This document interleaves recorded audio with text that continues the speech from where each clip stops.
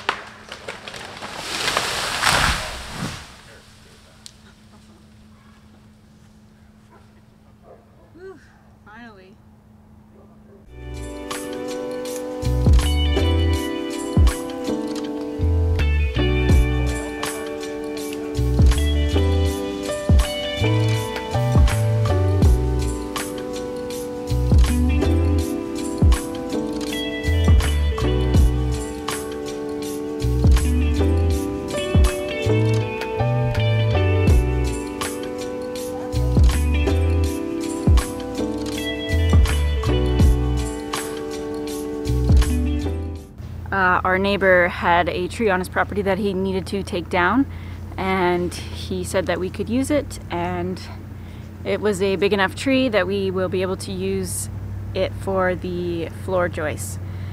So the guys are currently bringing logs over to the sawmill.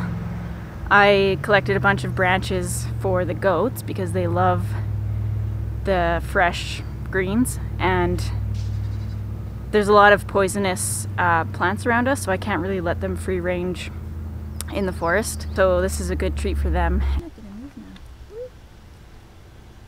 Squirrely Dan, is that you? You found us. Bye. Welcome back to this off-grid life.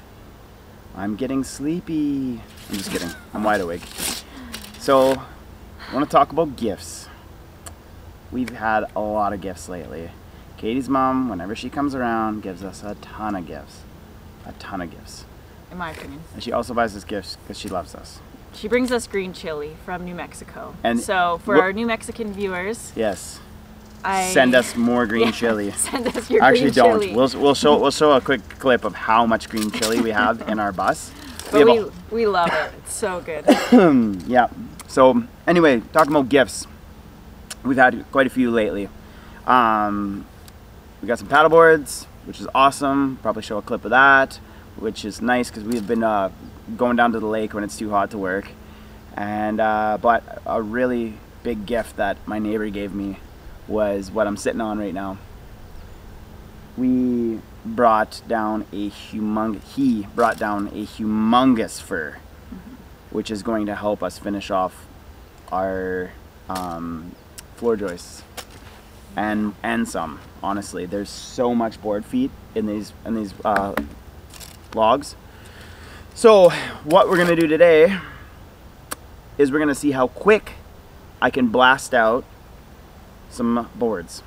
I'm getting pretty good at being efficient with my milling, um, but I don't have a lot of time, and I have to be efficient at, at milling. So well, we don't get a lot, as you mentioned before, we don't get a lot of these large trees. no, yeah, Because we don't fall them. Well, this one had to come down anyways, but we don't Yeah. fall the trees. On the, they have to come down on their own, basically. totally. We haven't cut down. That's not true. We've cut down some trees, like we said in an earlier pre- episode. We've cut down some trees because the house is going there. But other than that, everything that I have built into this house is wind blown down. So Yeah. So, the windstorms are scary, but they are also rewarding. Yeah. So I'll cut the chick chat, and Katie's gonna take video, and we're gonna take, we're gonna see how long it takes for me to cut a log, roll it onto the deck, and blast out however many boards I can get out of it. Yeah. And so what we're working on for this one is the floor joist, Yeah, or we have, I don't know. There's a million names for it. It seems like they're, yeah, floor joists is the right. Yeah. floor joist. Anyway, so yeah, we're working on the floor joists. They're two inch by 10 inch fir, which is like super strong. Um, typically floor joists are two by twelve SPF or spruce, pine, whatever. Um, but two, two inches by 10 inches is out of fir is way stronger than that, in my opinion. Leave a comment below if I'm completely wrong. But when you see these boards, you'll see you'll see what I'm talking about. Anyway, meal time.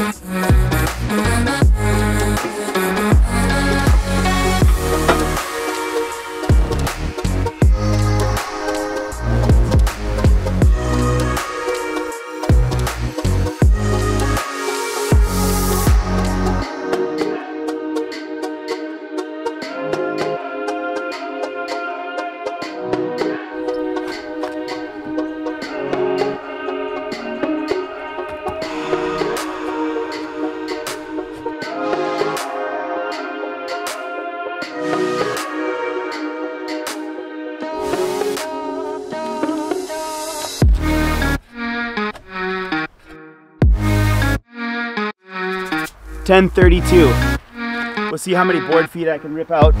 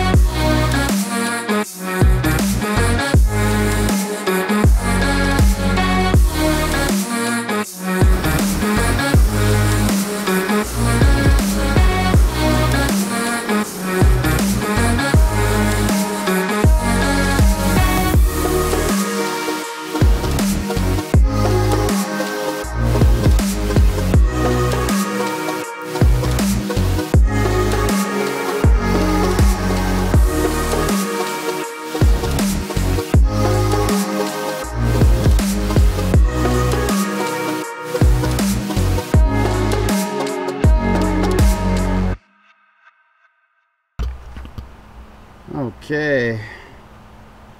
Yeah, 1143. And there's seven beautiful 2 by 10s to go with the 30 I have over there. So I'm getting getting close to the end of milling these things, but holy smokes. It's a lot of work. It used to be fun. It will be fun again when I have a tractor one day. But I do not have a tractor today. anyway, I'm gonna keep going.